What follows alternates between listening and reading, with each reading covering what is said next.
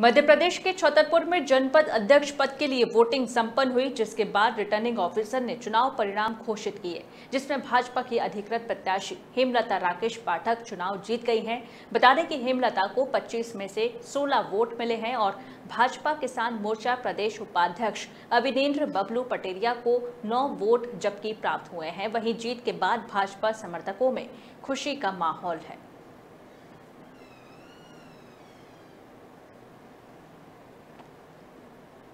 अभी हमारे यहाँ पर अध्यक्ष पद का निर्वाचन हो गया है। जिसमें श्रीमती हेमलता राकेश पाठक जी अध्यक्ष पद के लिए विजेता हो चुकी हैं। इसके बाद में उपाध्यक्ष का हमारा चालू है हमारा। भारतीय जनता पार्टी का पूरा सहयोग रहा है।